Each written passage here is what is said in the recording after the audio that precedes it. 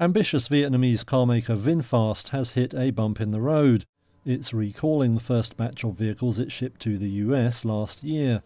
That comes after Watchdog said the cars had software faults in their dashboard displays. The National Highway Traffic Safety Administration said that could prevent critical safety information from being shown and increase the risk of a crash. Around 700 of the 999 VF8 models are thought to still be in VinFast's hands. The regulators said a software update would fix the issue. In a statement to Reuters, the company said it had initiated a voluntary safety recall. VinFast said it was acting out of caution and wasn't aware of any incidents connected to the fault.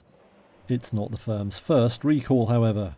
Nearly 3,000 cars were called back in Vietnam earlier this year over a brake fault. The new recall comes less than two weeks after VinFast said it would list its shares in the US.